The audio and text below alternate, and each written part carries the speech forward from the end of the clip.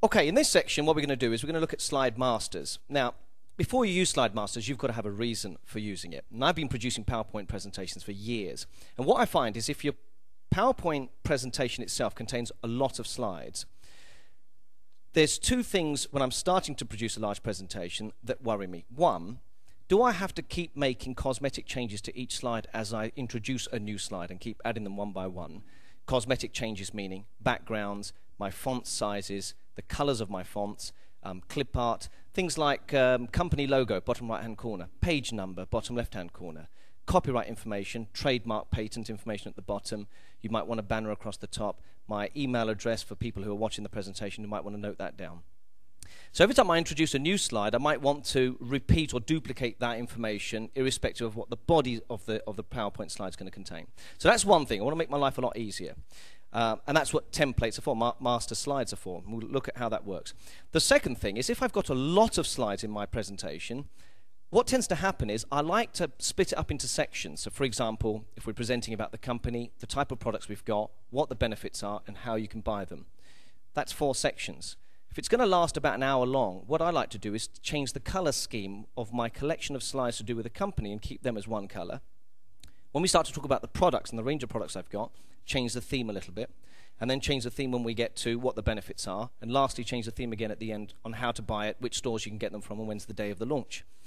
So if we've got 20 slides in each section, that's four sections, 20 slides each, a PowerPoint presentation made up of 80 slides in total, and we want to make it a simple process of creating them, and we want to be able to group them together so we can change the cosmetics as we go along.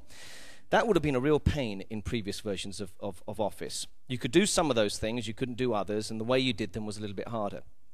So if you look at my PowerPoint that I've got open at the moment, it's a single presentation made up of one slide. Um, and there's very little on there at the moment. If we know from the word go that we're going to be introducing at least 20 slides with certain things like logos and page numbers, what we ought to do is not get running into creating our PowerPoint presentation straight away, we need to prepare the masters first. And a master is a very different slide to normal slides. You don't actually present a master slide. It's a hidden slide well outside of the presentation, and you make the changes to the master slide, and the type of things you make, the, the type of changes you make are the ones that you want repeated throughout the rest of your presentation.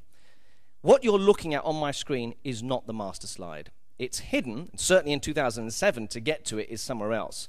If I go and click up near the top here, which is the View tab, you'll see that the ribbon's changed as you'd expect it to. On the left-hand side, you'll see that there's an option called Slide Master. And if I choose the Slide Master option, and I zoom out, across the top you'll see that there's a new program option that wasn't there before.